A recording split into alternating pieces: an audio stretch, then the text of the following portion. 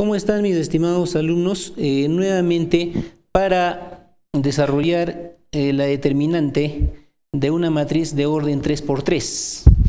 Eh, vamos a utilizar la definición que hicimos en un ejercicio anterior, la definición de la matriz para orden 2x2. A este método lo llamamos con el método de expansión de cofactores. Eh, vamos a proceder. He colocado las tres matrices, las mismas tres matrices, para tratar de desarrollarlo de tres formas distintas. A ver, empezamos. En el primer ejercicio voy a escoger la fila 3. Me dice primero filas. Entonces nos damos cuenta acá, estoy escogiendo la fila 3. ¿Ya? Determinante de la matriz B va a ser, el primer elemento de la fila 3 sería 4, que multiplica a menos 1 elevado al exponente fila 3, columna 1, 3 más 1, 4. Y esto que multiplica a su vez a los elementos que me van a quedar. Anulando la fila 3, la columna 1, me quedarían los elementos menos 1, 2, 0, 5. De ese resultado sale mi primer término. Voy a hacerlo en forma vertical, ¿ya?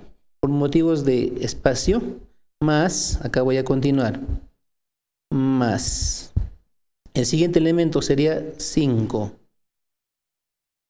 5 que multiplica a menos 1 elevado al exponente fila 3, columna 2, elevado al exponente 5, sería 3 más 2, 5, que multiplica a los elementos que van a quedar. Eliminando la fila 3, la columna 2, me quedaría 1, 2, 0, 5 también. Cerramos. Más, continúo acá abajo otra vez, más. El siguiente elemento sería menos 2, que multiplica a menos 1. Si se han dado cuenta, como se trata de la misma fila, los exponentes son 4, 5, acá me va a tocar 6. Fila 3, columna 3, 3 más 3, 6. Anulando su fila y su columna me quedarían aquí elemento 1, menos 1, 0, 0. Y cerramos. Ya están los tres elementos. A ver, desarrollando me quedaría de la siguiente manera. La determinante de la matriz B va a ser igual. Aquí tendría menos 1 al exponente par se hace positivo. 1 por 4, acá me quedaría 4. En esta pequeña matriz que se ha quedado, es una matriz 2 por 2, voy a aplicar la definición que ya conocíamos, anteriormente habíamos desarrollado. Decimos menos 1 por 5 menos 5, menos 0 por 2, 0, sería en todo caso menos 5. Menos 5, me quedaría así. Más el siguiente, menos 1 al exponente impar 5 sería negativo. Entonces aquí por 5 me daría menos 5. ¿Qué multiplica? Igualito, aplicamos la definición 1 por 5, 5, menos 0 por 2, me quedaría aquí 5. Más el siguiente, menos 1 al exponente par se hace positivo por menos 2, me daría acá menos 2. ¿Qué multiplica? Aplicamos definición 1 por 0, 0, 0 por menos 1, 0 también. Acá me quedaría 0. Anulando este término, ¿verdad? 0. Desarrollamos la determinante de B va a ser igual. Aquí me quedaría menos 20. Ley de signos más por menos, menos 5 por 5, 25, la determinante de B me daría en este caso menos 45. sería la determinante de B. Bien. Pasamos al siguiente. Se trata del mismo ejercicio, pero en esta ocasión lo voy a trabajar utilizando columna. ¿Qué les parece? Voy a elegir la columna 3. La columna 3 también. ¿Ya? Entonces digo por aquí, la determinante de la matriz B. El primer este elemento de la columna sería 2, que va a multiplicar a menos 1. El exponente, fila 1, columna 3, sería acá 4, ¿verdad? Me va a quedar los siguientes elementos. Elimino la fila 1, la columna 3, me queda 0, 0, 4, 5. Continuamos, más. Seguimos por acá, más.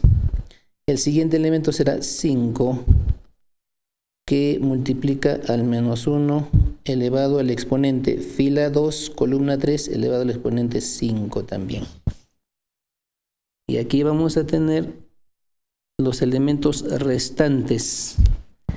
Eliminas la fila 2, la columna 3, me quedaría 1, menos 1, 4, 5, más, sigamos por aquí abajo, el siguiente elemento de la columna 3 sería 2, o menos 2, perdón, menos 2 por menos 1 al exponente, fila 3, columna 3, 6, ¿verdad?